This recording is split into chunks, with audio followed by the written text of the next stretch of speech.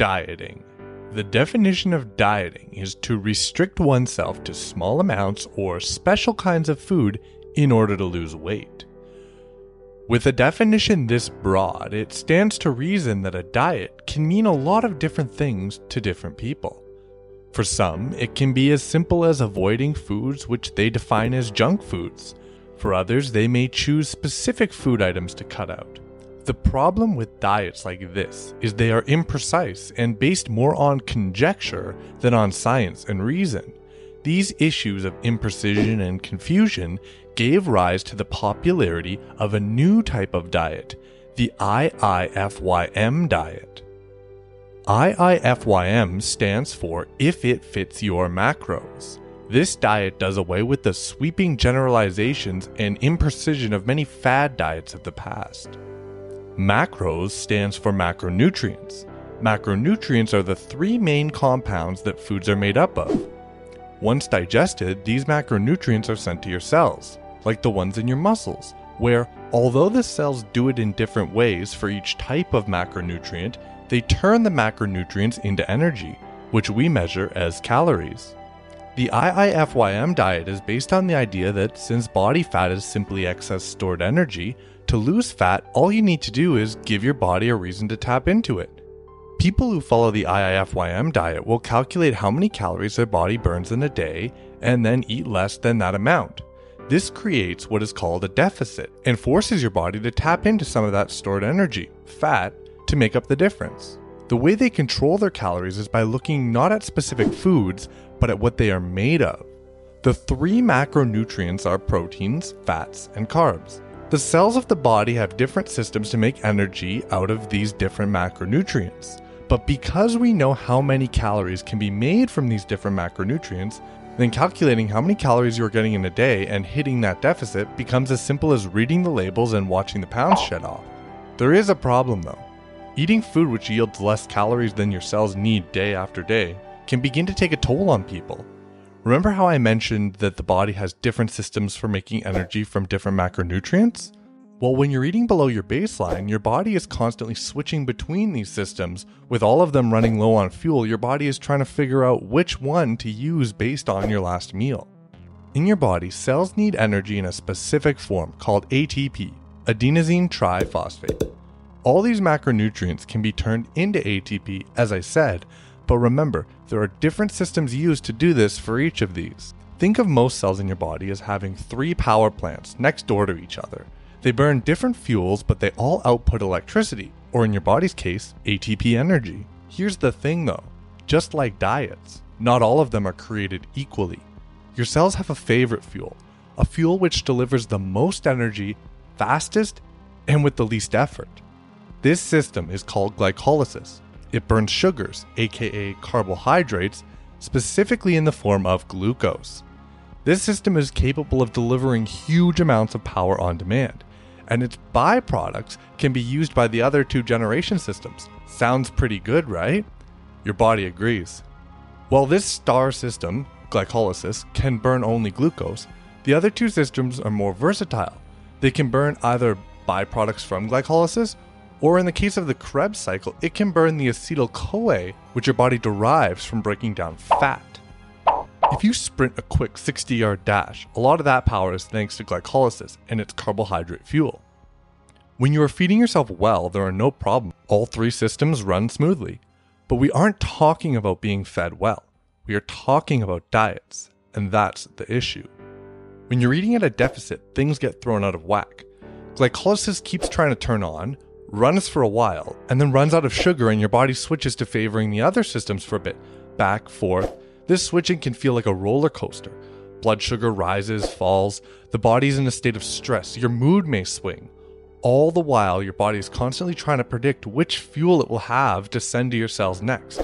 Your body reacts to this chaos the best way it knows how by sending powerful hunger signals to you, hoping this will increase the available fuel. So, if part of the problem is that your body keeps trying to use glycolysis, what would happen then if we just stopped sending any carb fuel? This is the basis behind the ketogenic diet.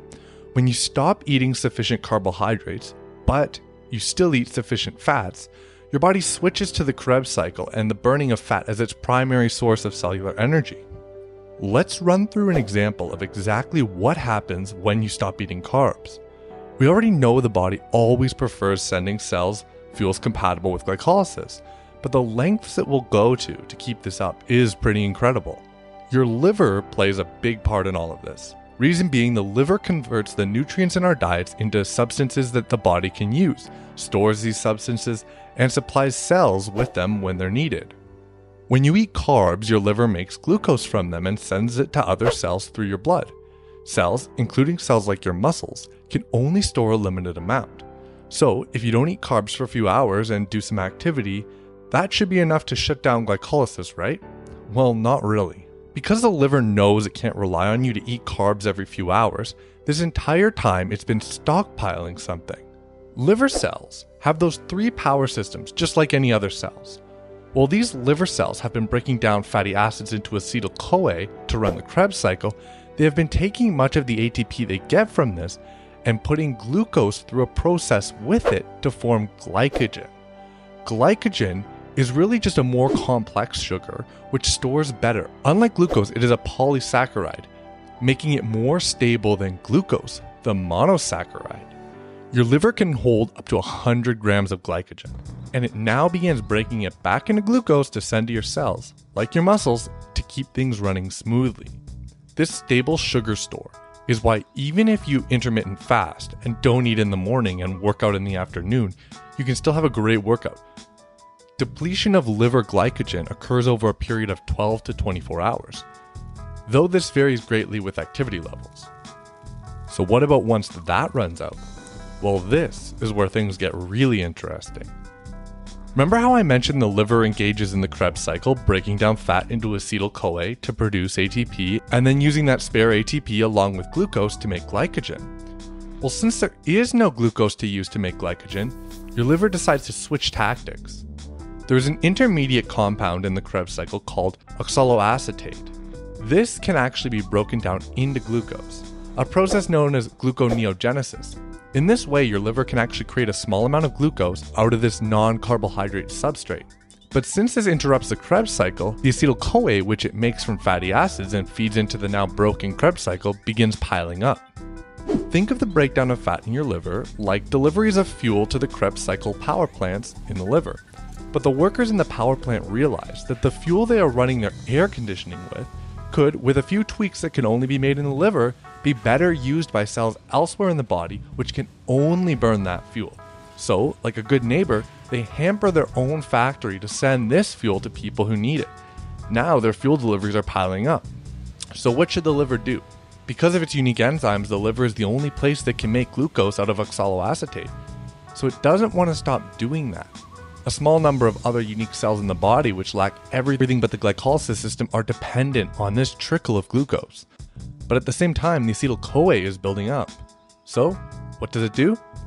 Well, remember, a lot of cells in the body, including muscle cells, contain the Krebs cycle energy system themselves. They can break down acetyl CoA into energy, and unlike the liver, their Krebs cycle is still perfectly functioning. So, the liver does something incredibly smart. It breaks the acetyl CoA into smaller compounds called ketone bodies and ships them through the blood to those cells who, in turn, turn it back into acetyl CoA and use it to make their own energy through the Krebs cycle for themselves. Since the liver is only sending a very small amount of glucose out, the second system, the Krebs cycle, and the third system, the electron transport chains, are essentially powering most of your muscle functions across your body. And they're running on fuel derived from fatty acids, including those ketone bodies which are being shipped up from the liver. Once the body gets used to this after a few days, it stops expecting carbs and glucose. Amazingly, Eating this way, people report feeling less hungry when eating at a deficit. This is what is interesting about the keto diet. You're fundamentally changing the way your cells generate energy. When ketone bodies in the blood reach this amount, you're medically in the state known as ketosis. So, how does this help you lose weight? Well, there are two primary benefits. First of all, it does seem that eating a high fat, low carb, ketogenic diet, at least based on some very respected metabolic ward studies, does slightly raise your basal metabolic rate. In other words, the calories your body naturally burns in a day on its own does go up slightly. In a recent study conducted on 17 obese men, switching to a ketogenic based diet resulted in an average of 88 additional calories burned per day, compared to the baseline diet, although this did start to fall as the study progressed, so I wouldn't say this is the primary benefit. Perhaps the larger benefit, though, is that participants consistently report feeling less hungry, so it is easier for them to stick to these diets because they are less tempted to overeat. This is why, in another study conducted by several doctors, they found that ketogenic diets have a greater participant retention, and thus, the keto group lost more weight. Statistically, you are likely to last longer on a ketogenic diet before just throwing in the towel. Of course, there are also some drawbacks. In a previous video I made, I break down total power output available over time during an activity. The purple colored zone, which encompasses the duration of activity between approximately 10 and 120 seconds, that is glycolysis. You're seriously hampering this energy generation system. But because you will always have some glucose, it is never truly shut down. Just how much it is hampered is tough to say. The body of research is fairly mixed. It seems as though while intensity may suffer in short burst activities, ketosis adapted endurance athletes may actually see improvements in time to fatigue. If there's one thing the human body is incredibly good at, it is adaptation. Also, ketosis reduces insulin levels, and insulin is well known to suppress proteolysis, which is the breakdown of proteins into smaller peptides. This coincides with the metabolic ward study I mentioned. In it, subjects saw a greater loss of lean mass when following the ketogenic diet. This makes sense considering these amino acids can be used during gluconeogenesis, which we know the body does do during ketosis to produce that small amount of glucose we talked about. So, overall, this diet has its pros and cons. I will say though, doing the research for this one, I found it to be a very contested topic, with both sides feeling very strongly. I think the point that a lot of people who champion the keto diet want others to understand is this diet isn't meant to be a magical formula that will cause pounds to just drop off. Instead, it's a tool, which, when used correctly, can help manage food cravings and make the dieting process easier. We can all agree, though, if you want to lose excess body fat, whether you're eating keto or not, it all comes down to eating an amount of food which contains less calories than you burn in a day. I hope you enjoyed this longer format video. If you did, consider subscribing. And as always, until next time, D Man signing off.